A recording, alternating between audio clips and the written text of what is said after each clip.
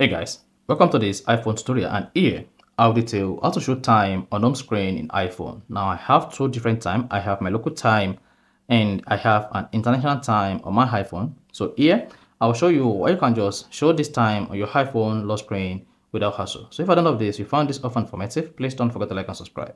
The first thing you want to do to show time on home screen in iPhone is press and hold your home screen just like this. Once you press and hold it, you see all the application jiggling then go ahead and click on edit button at top left.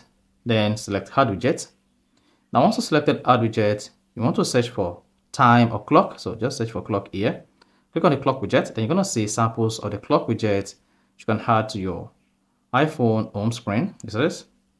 Then locate the clock icon that best suits your need. So let's say here, clock 3. Just go ahead and click on add widget. Then once you tap add widget, this is going to add the clock icon to your iPhone home screen. Then you can just click on the done button at the top right to save changes and then the clock or time will appear on the home screen. Now, if you go ahead, press and hold the time on your iPhone home screen, then click on this widget icon to switch the widget from big to small widget like this. Then you're gonna see the time switch from big to small widget, from big widget to small widget. Is that?